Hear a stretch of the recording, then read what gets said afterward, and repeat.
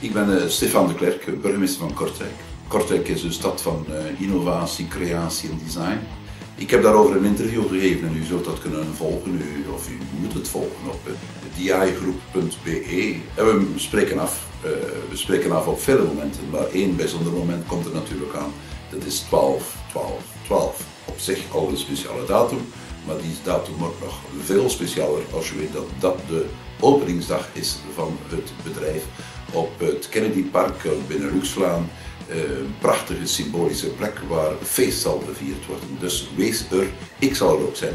Want ik kom niet alleen voor het feestje, voor de opening, ik kom er ook mijn persoonlijke verjaardag vieren.